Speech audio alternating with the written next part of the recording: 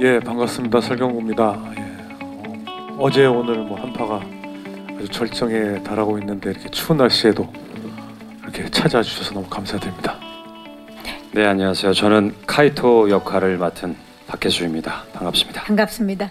그 일제 강점기 그 1930년대 이야기는 처음 해보는 것 같아요. 음, 준지는 그, 그 아주 앞길이 창창한 군인이었었는데 좌천이 돼서 총독부 통신과 감찰관으로 있는 다시 한번 일어서서 어, 옛날의 명성을 되찾으려고 하는 인물입니다. 기회를 엿보고 있는 그런 인물인데 사실 일제 강점기 당시의 혼혈 캐릭터잖아요. 이번 춘지 그 역할을 표현해낸다는 게 결코 쉽지 않았을 것 같은데 어떤 점에 가장 중점을 두셨나요? 그 복잡한 심리 중에. 글쎄 뭐 뭐는 뭐 노력을 했거나 그렇다기보다는 저는 준지 자신도 어떤 야망이 큰 인물인데 또 사실 준지는 용의자이자 또 유령을 또 누군지 알고 싶어하는 자이기도 하거든요.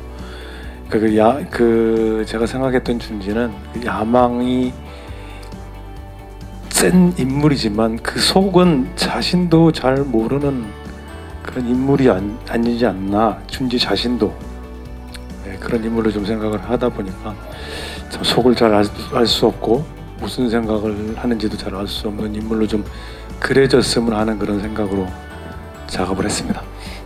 어, 이번에는 특히나 일본군 제복을 입었습니다. 어떤 인물인가요? 카이토. 다카라 카이토는 군인입니다. 명예를 중시하는 어, 가문 대대로 귀족 출신인 군인이고요. 어, 사실은 스스로가 가지고 있는 굉장히 자격지심도 있고 명예욕도 있는데 그 안에서 이 조선 총독부 안에 있는 항일 운동을 하는 유령이라는 사람들을 색출하기 위해서 함정 수사를 하는 그런 군인입니다. 100% 일본어 연기를 선보이셔야 했기 때문에 쉽지 않으셨을 것 같아요. 도전이었는데. 네, 너무 사실은 너무 뭐 말씀드리기 길 정말 장엄하고 긴 여정이 있었는데 네. 너무 두려웠었어요. 처음에는 아 이거 내가 그 캐릭터가 너무 매력적이어서 너무 하고 싶었고 그 감독님께도 너무 감사해서 너무 하고 싶었는데 아 이거 내가 한다는 것이 제가 정말 좋아하고 존경하는 배우들한테 피해가 되지 않을까 생각에 좀 하루 이틀 정도를 연습을 해보겠습니다 했는데 안 되더라고요 그 당일날 그래서 밤새도록 하다가 서경호 선배께 전화를 한번 드렸었어요. 드렸어요. 예. 예, 그래가지고 이게 가능할까요 했는데 야 우선 감독님께 한번 만나봐 이렇게 딱 음. 정확히 말씀해 주셔가지고 감독님께서 이번에 한 걸음 다가와 주셨지 않나.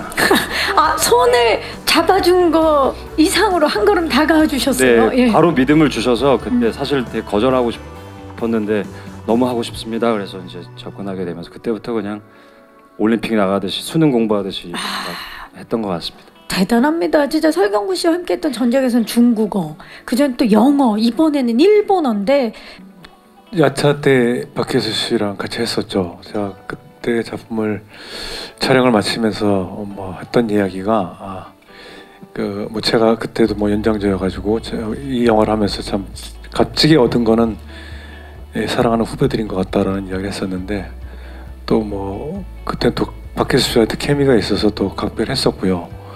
또요 촬영하면서 사실 카이토라는 인물 그 배역이 제일 늦게 캐스팅이 됐었는데 아, 뭐 아까 말씀해 주신 것처럼 저한테 전화가 와가지고 좀 고민을 하길래 감독님을 뵈면은 이제 답이 쉽게 나올 거다라고 하면서 아마 쉽지 않게 예, 이 작품에 참여를 했었어요. 박혜수 씨 마음도 또 이 영화를 또 끝내면서 제가 제일 고마워했던 사람이 또 박혜수라는 카이토를 맡은 박혜수 씨였거든요. 감독님도 아까 말씀드렸던 것처럼 그 수호천사 네가 아니었다면 이 영화는 만들어지 못했을 거예요. 저도 그런 마음이었고요. 아마 그 배역을 찾기 위해서 박혜수가 안 했다면 그 배역을 찾기 위해서 계속 미뤄졌을 것 같다는 생각도 하면서 뭐 늘 고마운 후배고 뭐 든든한 후배예요. 뭐 후배지만 되게 든든한 사람이에요. 아 감사합니다. 네, 감사의 마음을 표현하셨습니다. 박혜수 씨. 아유 울컥했네요. 저는 에, 참 저는 개인적으로 극장에서 이렇게 시사 제가 찍은 영화를 개봉하는 게 정말 오랜만이거든요.